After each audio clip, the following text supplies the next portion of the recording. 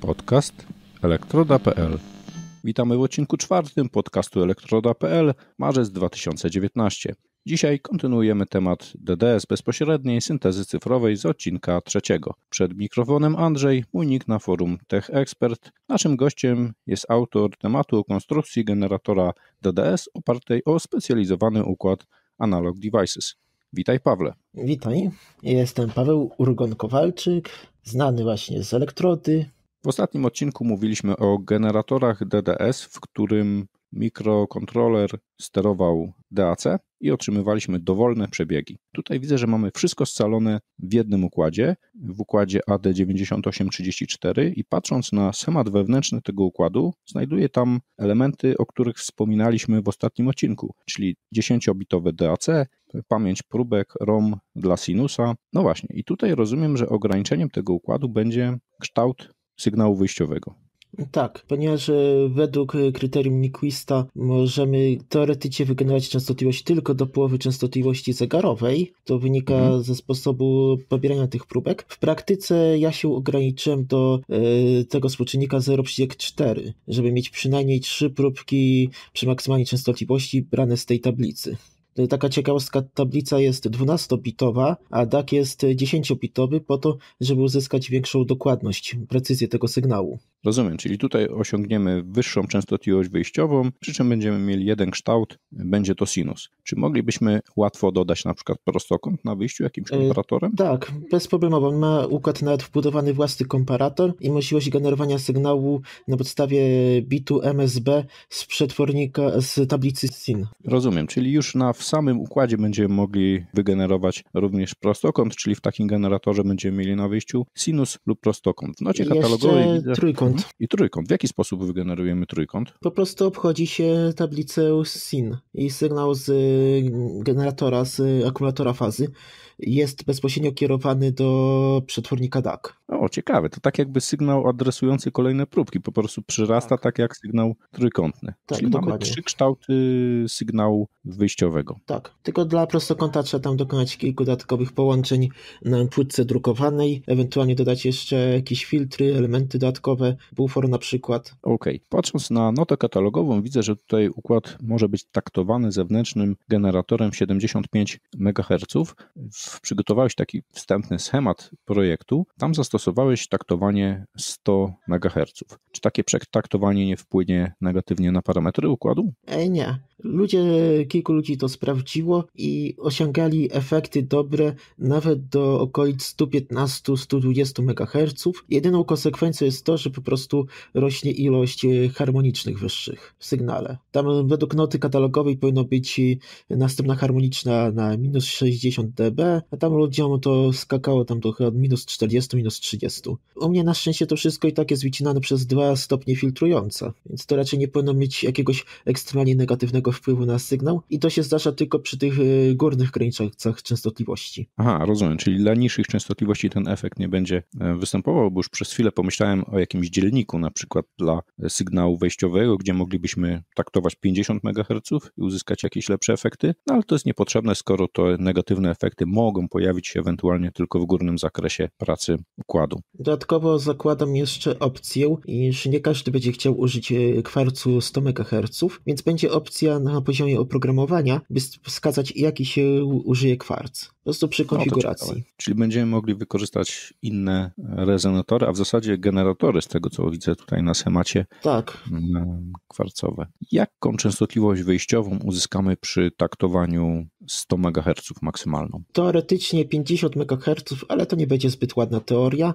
W praktyce ja się ograniczam do właśnie 40 MHz. 40 tej częstotliwości zegarowej. Tutaj w nocie katalogowej przy 75 jest częstotliwość 37,5 MHz, ale to tak jak wspominałeś, to będzie przy tych gorszych parametrach. Tak, w praktyce przy takich częstotliwościach 25-30 MHz to nie jest jeszcze problem, jak są odpowiednie filtry. Czyli uzyskujemy tutaj znacząco wyższe częstotliwości niż w układzie, który, o którym rozmawialiśmy w poprzednim odcinku, w układzie generatora arbitralnego. Tam mogliśmy dowolne kształty generować. Tutaj mamy trzy różne przebiegi, natomiast znacznie wyższe częstotliwości. Dokładnie. Jeśli chodzi o generowanie tych przebiegów wyjściowych, częstotliwości przebiegu wyjściowego, widzę, że tutaj układ posiada szereg rejestrów sterujących. Jest to rejestr odpowiedzialny za częstotliwość wyjściową i fazę przebiegu wyjściowego. Częstotliwość no, wydaje się tutaj jasną sprawą, natomiast widzę, że zastosowałeś dwa układy, czyli mamy dwa wyjścia. Rozumiem, że jeśli chodzi o fazę, będziemy mogli przesuwać między sobą, przesuwać w fazie sygnały wyjściowe generowane przez taki dwukanałowy generator. Dokładnie. Tutaj bardzo ważną kwestią będzie to, żeby ścieżka idąca od generatora kwarcowego była równej długości dla obu układów, żeby po prostu tych błędów fazowych nie było. Rozumiem, czyli takie dopasowanie opóźnienia sygnału, który tak, dociera tak, do układów. Wewnątrz układu widzę, że są zarówno dwa rejestry dla częstotliwości, jak i dwa rejestry dla fazy. Do czego możemy to wykorzystać?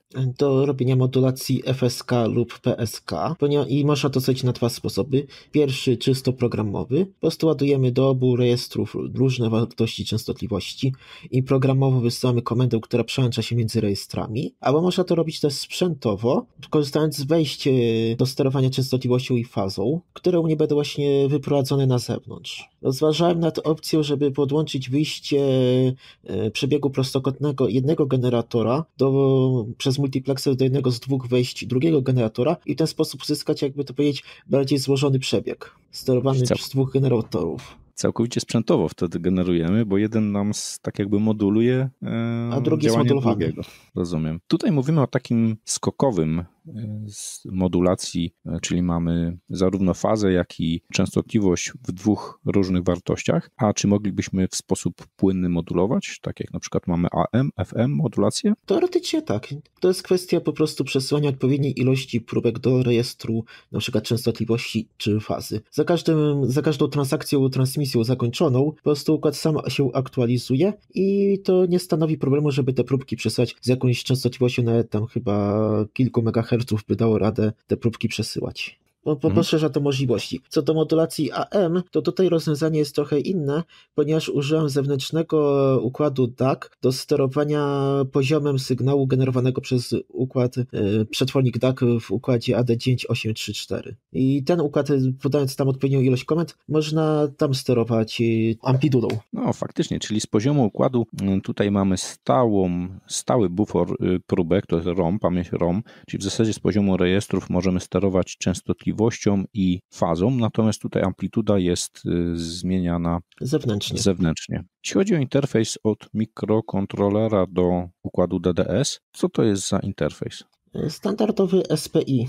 SPI. I tutaj sam układ w zasadzie ma tą swoją automatykę sterowania, generowania sygnału, czyli tutaj jeśli chodzi o wymagania co do mikrokontrolera są niewielkie. Dokładnie. To może, może być użyty nawet najprostszy układ 8-bitowy.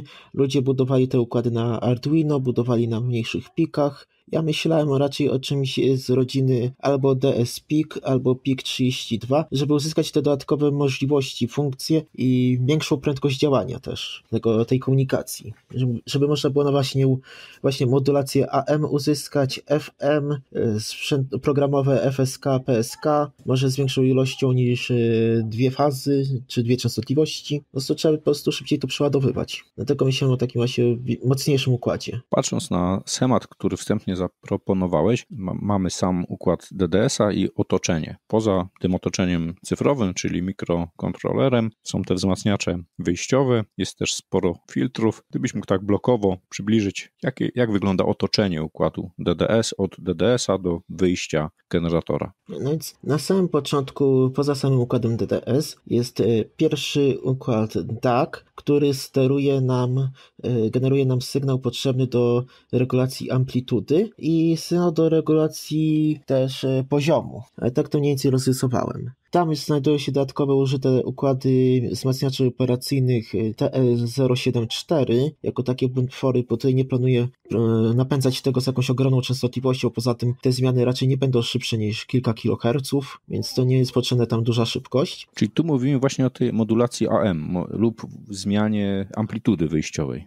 Także y, poziomu sygnału, rozwinięte bodajże na drugim stopniu wzmacniającym. Pierwszy stopień wzmacniający na układzie LM 1717. E, on służy do tego, by z sygnału różnicowego uzyskać sygnał e, single-ended, jest to spowodowane tym, że po prostu ten DAC w układzie ma swoje błędy i przekłamania i tylko sygnał różnicowy jest taki na odpowiednim poziomie względem siebie. Żeby te właśnie te różnice w poziomach wyeliminować, to tak to należy robić. Chociaż wielu ludzi właśnie ten, ten układ pomija i bierze po prostu jedno wyjście, wtedy oni nie mają tego sygnału od 0V. A w ten sposób jeszcze dodatkowo nie musimy stosować kondensatorów odcinających składową stałą, więc y, teoretycznie ma się po prostu możliwość nadziania z częstotliwością tam 1,1 Hz tego generatora. Jak dobrze pamiętam, na tyle to pozwala przy 75 MHz taktowania. Więc to jest ten pierwszy stopień wzmacniający. Zanim znajduje się pierwszy filtr e, bodajże e, tego pierwszego albo trzeciego rzędu, nie pamiętam w tej chwili jak to liczyłem, on jest obliczony na to, żeby odcinać od 40 MHz dopiero i potem jest drugi stopień wzmacniający, na którym jest realizowane sumowanie sygnału z generatora z sygnałem sterującym amplitudą, a czy poziomem sygnału. Potem jest drugi filtr z impedancją wyjściową 50 ohmów. I zasadniczo to jest tyle. Znaczy się analogowa jest dość prosta. Mhm. Tutaj w y, układzie widzę pojawiły się indukcyjności 470 nanohenrów i 270 nanohenrów. Zwykle takie, jak pojawia się indukcyjność, to no, osoby, które zaczynają swoją przygodę z elektroniką już patrzą tak jak na układ, który może jakieś problemy e, wytworzyć. I czy tutaj możemy zastosować jakieś typowe dławiki? Tak, jak najbardziej. Właśnie to było moim celem dobrać te wartości tak, żeby można brać y, dławiki z szeregu wartości. Do takich częstotliwości, czy to mogą być dławiki osiowe, czy dławiki SMD, czy muszą mieć jakieś konkretne parametry poza indukcyjnością? Ja tutaj nie jestem tego pewien do końca, bo jakby tu powiedzieć indukcyjności to dla mnie jednak troszkę czarna magia, ale przypuszczam, że z dławikami SMD to powinno działać poprawnie. W wielu innych urządzeniach e, na wyższe częstotliwości też się takie dławiki stosuje i ludzie jakoś nie mają z tego powodu problemów. Przypuszczam, że przy takiej amatorskiej zasadniczo konstrukcji to nie będzie stanowiło jakiegoś ograniczenia parametrów, przynajmniej W układzie widzę rozdzielenie na zasilanie części cyfrowej, zasilanie części analogowej. Zapewne chodzi tutaj o zablokowanie przenikania zakłóceń cyfrowych do części analogowej, a także dwa zasilania plus 15, minus 15. W temacie zaproponowałeś układ zasilania z przetwornicą, e, który no, wywołał wiele e, pytań. Czemu taki, no można powiedzieć, dyskretny układ e, zasilania? Znaczy, to była pierwsza opcja tego zasilania ze względu na to, że wydawało mi się to konstrukcyjnie najprostsze. mistrze Niestety nie wiem, czy to, tą opcję wykorzystam w ostatecznym projekcie ze względu na jeden drobny problem. Ta przetwornica, e, tak zwany ringing choke converter, przy tej konfiguracji, e, przy, przy założeniu, że będzie dać maksymalnie e, w sumie 700 mA na, 30, na wyjściach, łącznie sumarycznie, ona będzie pobierać przy założeniu sprawności na poziomie 80% ponad 2,5 A ze z gałęzi 5V.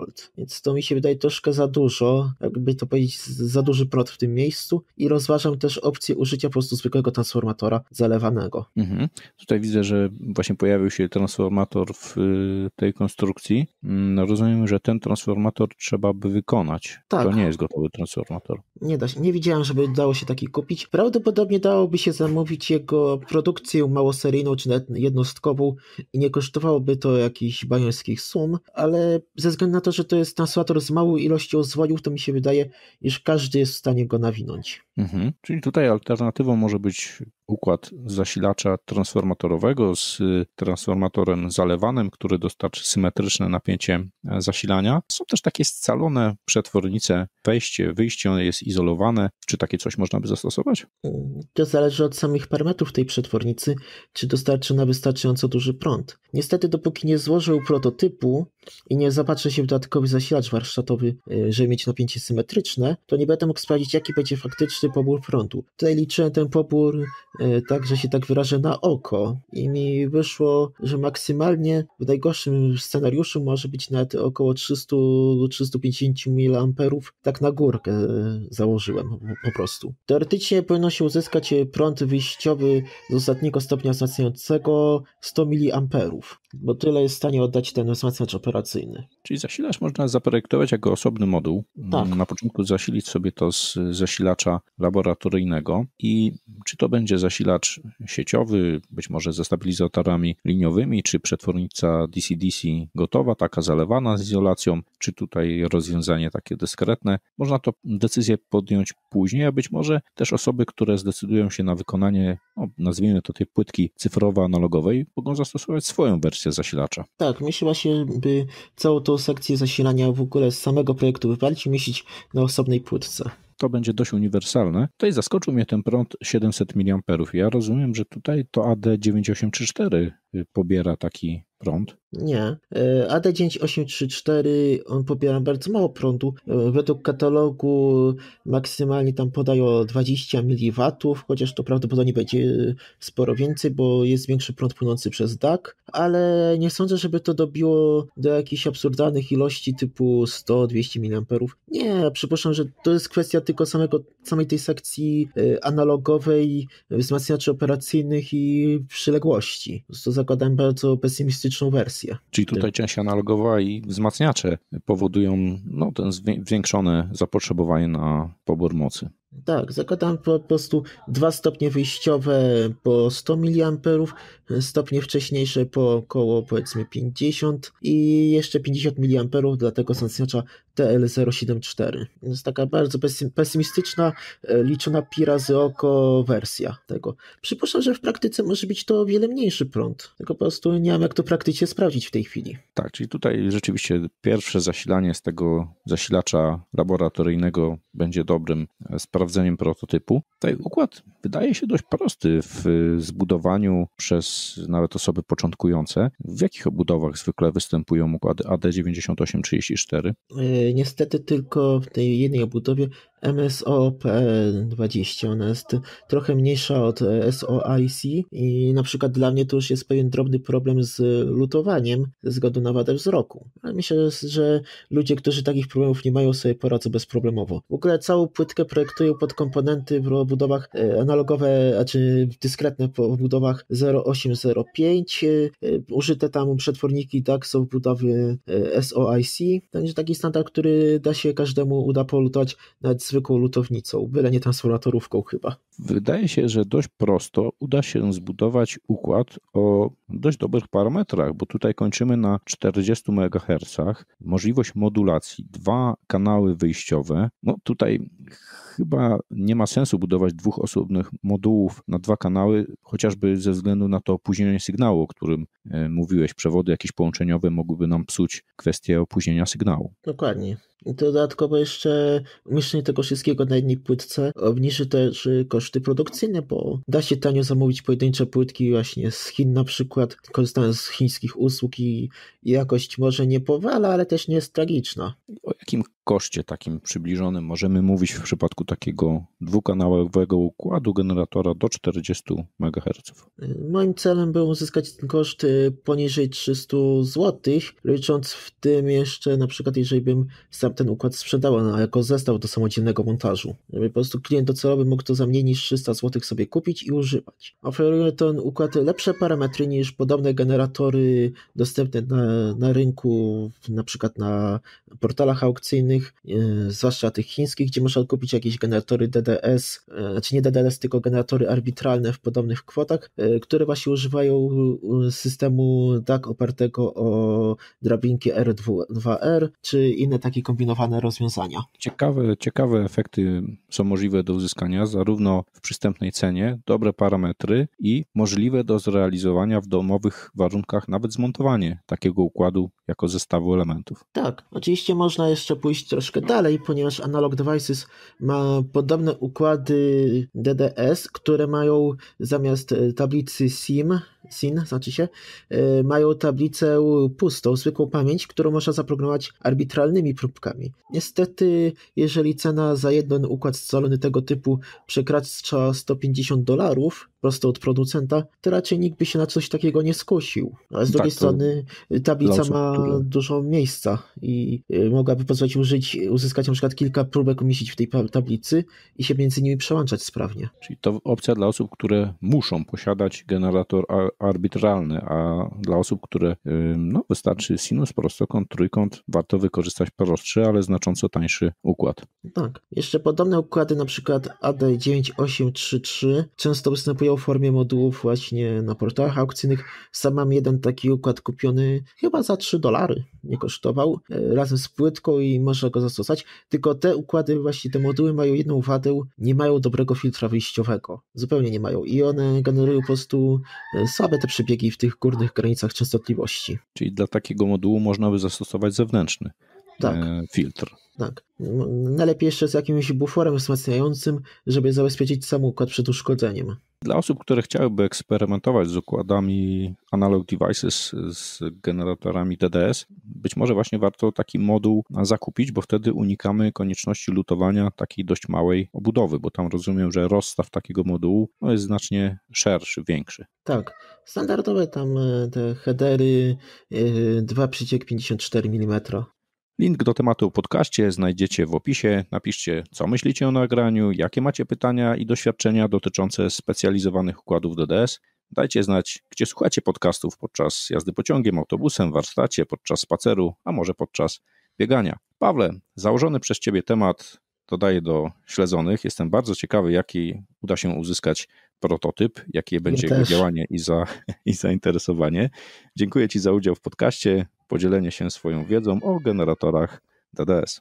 Dziękuję za zaproszenie. Też. Dzięki za wysłuchanie podcastu. Do usłyszenia.